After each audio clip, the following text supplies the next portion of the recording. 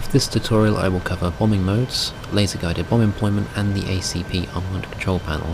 However I'd like to preface this by saying you should probably use the BDU 33 to practice. It allows you to carry 14 simulated Mark 82s without the weight, unbalance issues, and you get a smoke indicator of where your bomb went. So you're loaded up with bombs and ready to go. The first steps are to select your bombs, go to menu, stores, and you can see here I have 12 Mark 82s. You can select them with the on-screen button or armament control panel at the bottom here. Next you need to choose your fusing option. Safe is inert, the bombs will not explode. You need to make sure you pick something else. They are not modelled to the best of my knowledge, so any one will do. Finally you need to choose the release mode. Currently it is an auto. You can also change it to CIP or CCIP. This can also be changed on the HUD by pressing the uncage button. Auto CCIP. Now you might notice it is flashing. That is because I have not yet enabled the master arm. When the master arm is enabled, the flashing will stop to indicate it is ready. The first mode I'm going to show you is CCIP, so I'm going to press uncage to switch to CCIP mode. So remember it is a toggle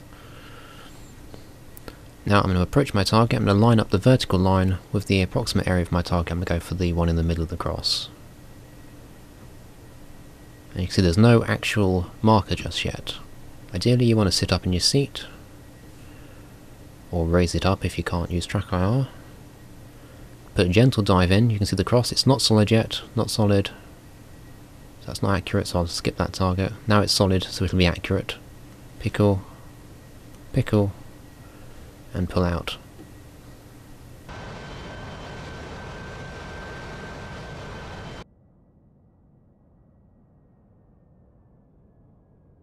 So what you saw there is the crosshair is not solid. This means it's not an accurate pipper, it's just off the bottom. If you stabilise the aircraft, it goes solid. This indicates that the aircraft is stabilised and the pipper should be accurate.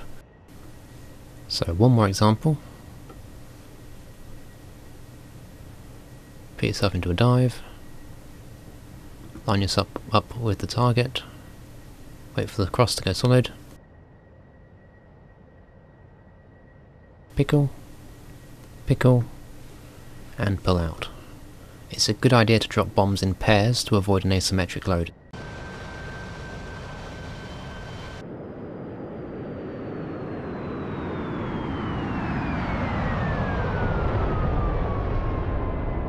The next release mode is called Auto, also known as CCRP or Constantly Calculated Release Point.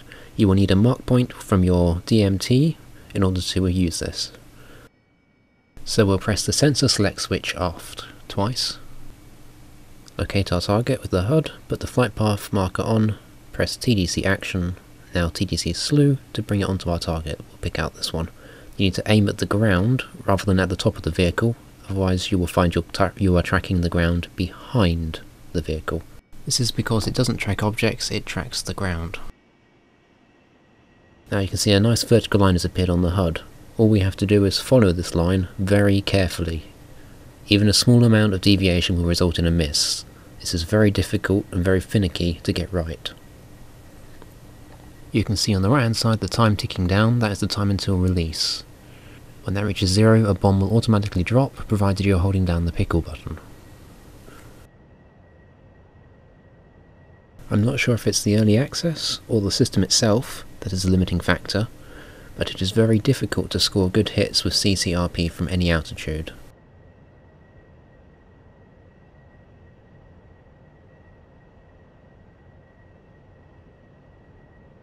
So essentially all I'm doing is trying to keep that vertical line centered on my flight path and not let it drift. So you see I've gone a little far, just adjust it a little bit. Gone too far the other way, again gently roll the other way. Try and ensure your rudder is neutral before you drop the bomb, as that can throw off your aim. So 10 seconds. Slightly off. Hold down the pickle button and released.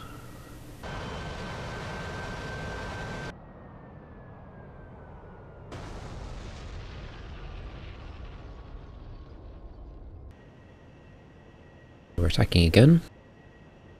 Same setup as before, new target.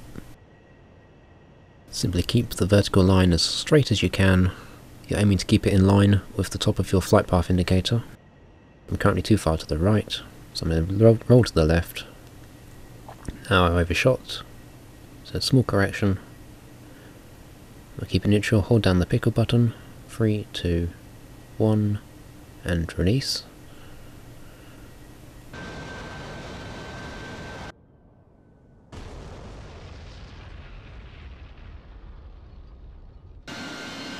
So, having seen how difficult it is to employ CCRP drops accurately, you're probably wondering, well, when would you use them?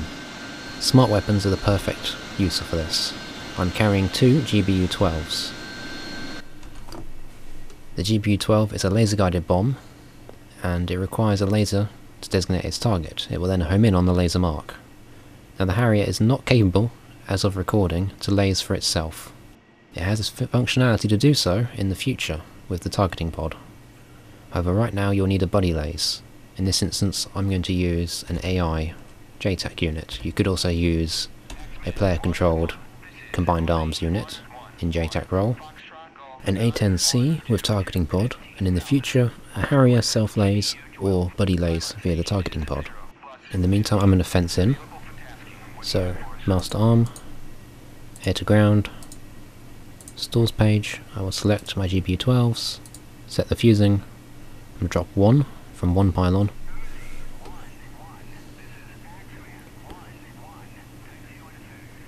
Target area is there. And JTAC has called back, I'm ready to copy. It's best not to get too close.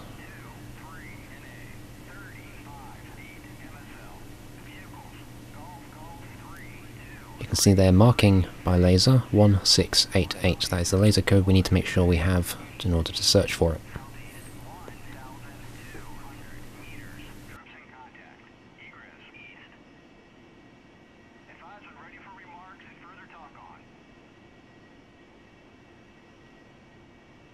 So we are now ready to copy the remarks.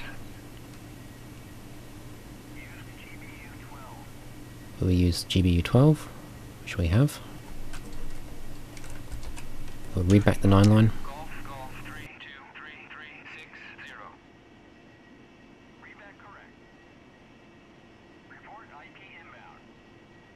We're now ready to turn into the target, so I'll report IP inbound and make a turn.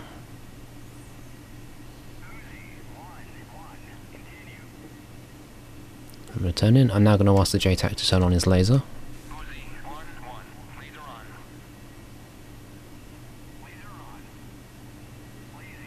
Now I'm going to press the sensor select switch aft once and go into laser spot track. And you can see the laser code is 1688 on the UFC. Should you need to change your laser code, simply enable laser spot track and press clear, then type in the new number and press enter. However, after a while this number disappears. In order to get that back, you need to press the code on the MFD here, press clear, type in your new number, and press enter to save it. Now all I have to do is point my nose toward the target area. There you go. It's picked up the laser mark. The camera's locked on. So now it's as simple as a CCRP drop, except this time the bomb will very definitely hit its target. I need to report into the JTAC that I have spotted the laser marker.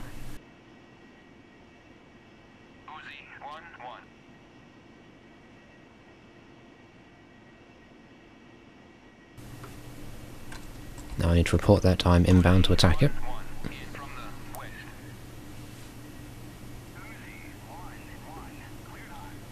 Now they've given me clearance to attack the target. So once again, just follow the marker, keep it in the centre of your HUD. And about 5 seconds before release, hold down the pickle button. Added benefit of using CCRP at high altitude is you are above all the AAA and IR missile threats that might be down there at the target location. A CCIP attack on the other hand would put you straight in harm's way.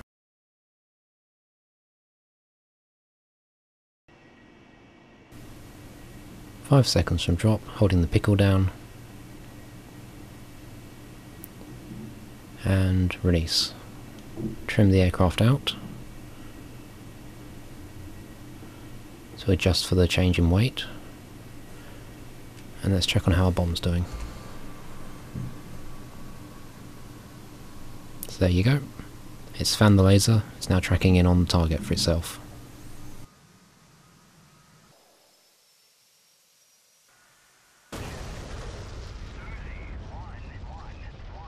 So now we are commencing a re-attack. I've kept the previous mark point on, you can see on the HUD and the MFD it's pointing, that'll make it easier for me to find the target area again. There we go, I've acquired. Now you can see it is still using the previous target as designated on our last run. We need to reset our system in order to take advantage of the new targets on the report IP inbound. I'm going to reset my laser search track with the nose wheel steering button. I'm going to reset the camera by using the sensor select switch aft twice to go back to TV and back to laser spot track mode. Turn the laser on. Going to ensure that the laser is within the field of view of the camera. There we go, locked. And there is our next target. Again, I need to report to the JTAC that I have spotted it. I need to line up with my target. Report that I'm inbound. One in from the east.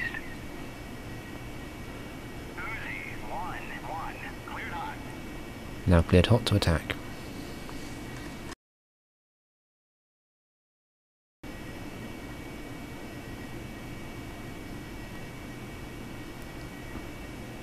And pickle. Trim myself back out again.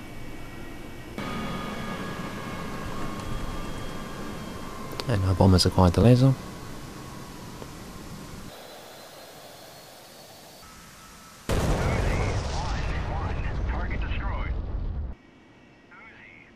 So we're out of munitions, and the JTAC has released us. Next we have the armament control panel. This allows you to customize the release settings of your drops. So we set ourselves up, air to ground, stores, you can see I'm carrying 14 Mark 82s. Now I can select down here my bombs, I can select how many bombs I wish to release, how many stations I wish to drop bombs from, and the interval. However, be aware there are still some problems with this system being in early access. For example, if I increment this down, it's incremented that up. I believe this will still be work in progress and not all functionality is here. So the first issue I found is you'd, ex you'd expect with the information provided in the manual that quantity 3 and say multiplier 4 would release 3 bombs from 4 pylons, which would drop all my sets of 3. However what it actually does is split across all the pylons. So for the time being treat this as a multiplier in the most literal sense. So I've got two bombs quantity, two times multiplier, so that's four bombs total, now six bombs, now it's eight bombs, you get the idea. The interval also does not currently work, it is set in feet, you simply set, set the number you want, and then press the pickle button and you should release bombs in sequence, with gaps between them. For example, you could take a runway, measure the length of it, divide that by the number of bombs, and then you can set yourself a nice interval to drop bombs across the entire length. The selective jettison, can set that from safe to combat. Combat will jettison all, all weapons on all stations except for the outer two stations, provided they're carrying AIM-9 missiles. This is intended for air combat. Fuel. This will select all the stations carrying fuel tanks which you can then jettison. To jettison, simply press the button, it will then return to safe automatically. Next up you have store. This will drop stores as you select them from here. Presently it does not appear you can select individual stores, only one type of store. And finally station. This will allow you to drop selected stations individually, but it'll also drop the suspension equipment with them. So in the case of the 3 times rig for the Mark 82, it will drop the mounting in the middle as well as the bombs.